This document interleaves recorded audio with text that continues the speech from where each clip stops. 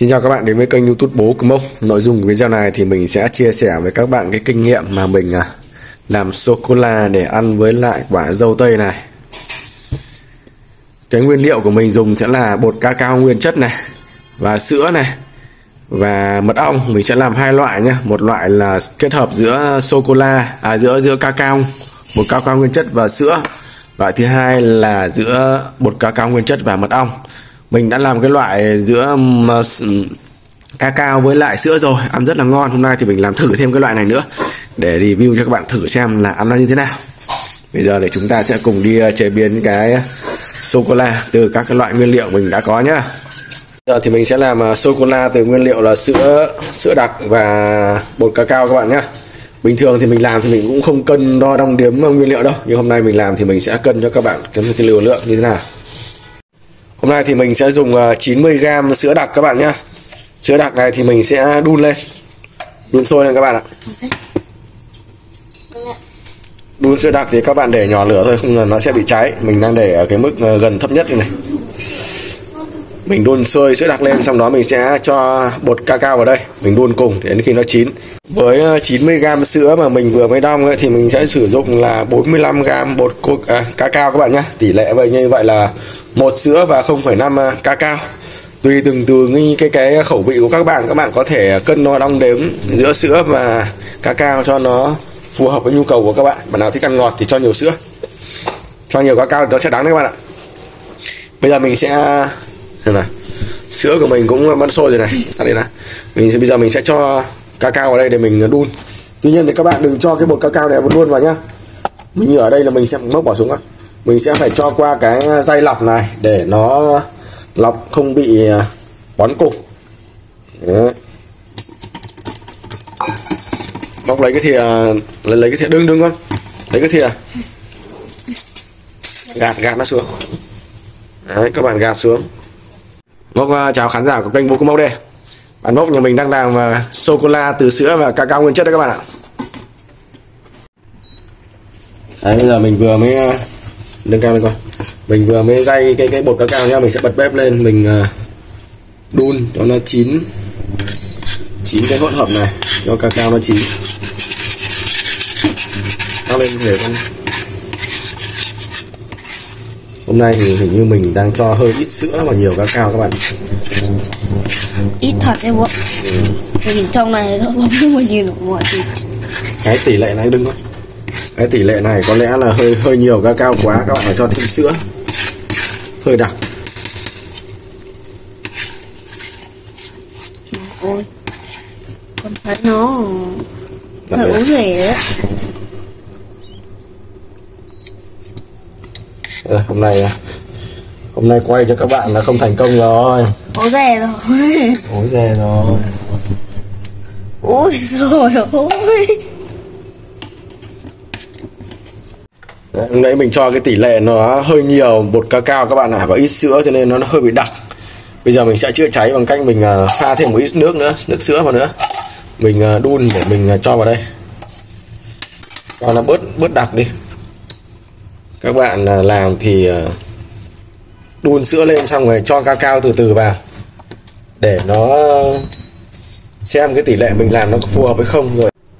Đấy, mình vừa mới chữa cháy bằng à, thêm một ít nước sữa nóng vào đây nữa. Thì nó cũng đã loãng rồi này các bạn này. Giờ mình sẽ ừ, mình sẽ đun một lúc nữa để cho cái bột cacao nó chín đều đi nó không bị đóng quán cục nữa. Thì thành phẩm của mình là rất là đây cái độ sệt này là vừa này.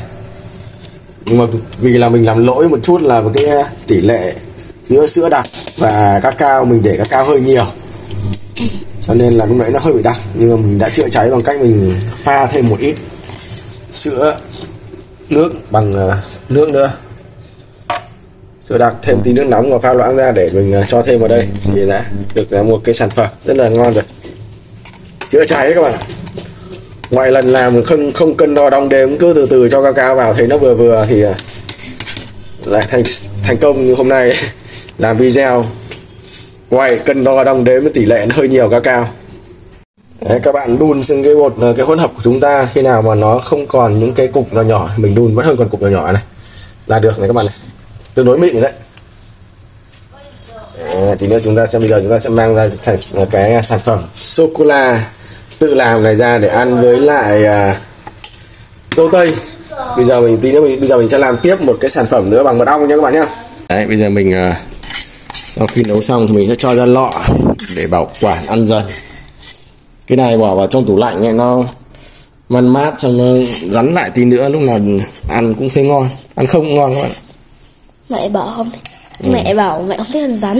Mẹ không thích ăn rắn. Mẹ thích ăn lúc nóng như này nó ngon hơn mẹ bảo thế Tiếp theo thì mình sẽ làm à, uh, sô cô la từ à, mật ong và bột cacao các bạn nhé. Nguyên liệu mật ong thì mình sẽ lấy 80g.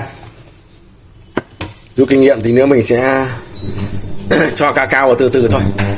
Chứ mình không uh, cho lúc nãy lúc nãy tỷ lệ 1 0,5 cacao một một sữa 0,5 cacao thì nó đặc quá xong cùng mình phải chữa cháy bằng cách mình uh, cho thêm nước ờ, cho thêm sữa một thiếp công, cốc ờ, sữa nóng pha loãng vào nữa thì nó cũng thành một cái sản phẩm tương đối là ngon. Thì nó sẽ ăn thử cho các bạn, review thử cho các bạn. Bây giờ mình sẽ rút kinh nghiệm. Mọi lần mình làm là mình cũng đun cái này xong mình cho từ từ một cacao vào, cũng không không không cân đo đong đếm gì đâu. Thấy nó vừa vừa rồi thì ờ, thôi. Lúc nãy mình chủ quan, mình cân đo đong đếm nhưng mà không cẩn thận nên ra là nó hơi đặc quá. Đấy không mọi lần mình làm mình chỉ làm như này này. Bằng này cao cao này. Khoảng này. Này móc ra đi. Từ từ. Còn lấy cái thìa khác cho nó ướt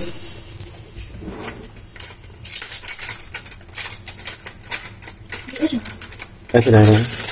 Dễ được không? Dễ không được chúng ta cứ làm từ từ nếu mà thấy ít cacao bột cacao quá thì cho thêm vào.